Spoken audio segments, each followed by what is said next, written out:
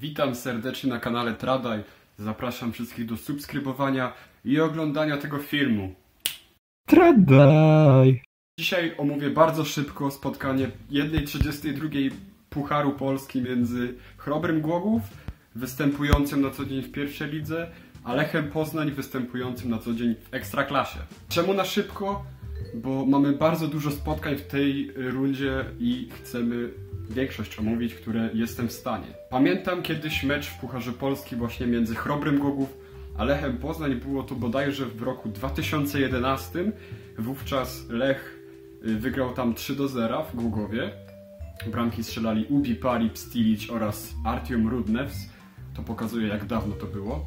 Jeśli chodzi o formę obu zespołów, Chrobry Głogów w poprzedniej kolejce pierwszej ligi wygrał po dramatycznym meczu z Odrą Opole 3 do 2, a Lech Poznań zremisował w piątek o 20.30 w bardzo średnim stylu y, z Jagiellonią Białystok. Co się rzuciło w oczy na początku tego meczu, jeszcze przed jego startem?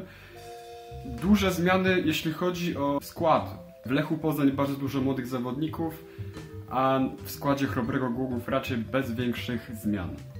Mieliśmy od początku w Poznaniu przede wszystkim y, Modera, Skrzypczaka i Tomasza Dejewskiego, który zagrał w meczu z Lechią Gdańsk, zadebiutował wówczas. I co mogę powiedzieć o tym meczu? Początek spotkania, w pierwszej połowie bym to tak określił, że no był to taki mecz ala ziemniaczki, takie ligowe ziemniaczki, piłkarskie ziemniaczki, czyli takie spotkanie. Pierwsza połowa równie dobrze mogłaby się nie odbyć.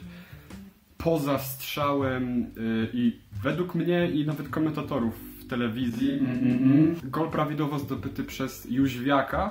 Nie został uznany mimo tego, że sędzia miał do dyspozycji instytucję VAR-u.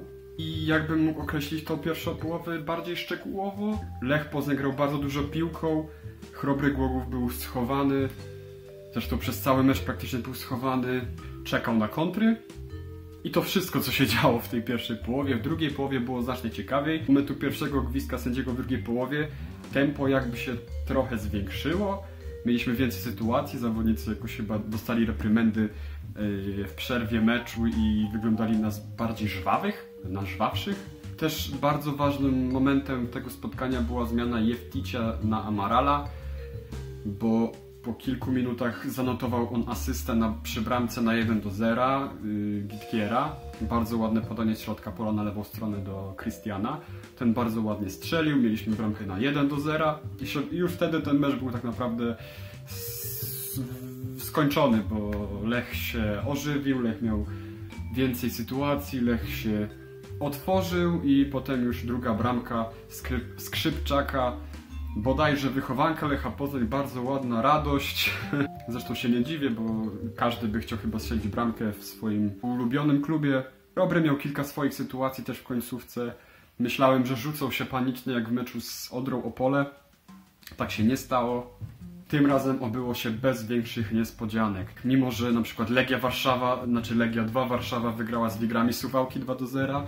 Gry w Wejherowo był bardzo blisko wyeliminowania Lechii Gdańsk już na samym początku, czyli też zdobywcy właśnie Pucharu Polski. Oraz Mieć Legnica mogła przegrać w bardzo sensacyjnych okolicznościach z rezerwami Zagłębia Lubin, także byłoby bardzo ciekawie i śmiesznie. No a jeśli chodzi o plusy tego meczu, według mnie w Chrobrym Głogów był to Lebedyński oraz y, Szymon Drewniak, a w Lechu Poznań z pewnością Amaral, Skrzypczak, Gitkier, Jóźwiak. Jóźwiak też bardzo dobrze zagrał, bardzo dobry mecz. Tymoteusz Puchacz w ogóle y, i ten młody Moder.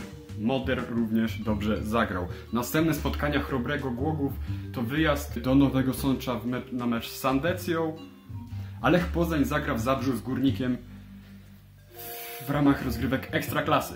Do czego zachęcam to do oglądania dalszych i śledzenia wyników 1.32 Pucharu Polski, bo mogą trafić jakieś sensacje. Dzisiaj nie było sensacji, ale mówię, Suwał, Suwałki przegrały z rezerwami Legii na stadionie Dolkanu Ząbki, czy tam Ząbkowi.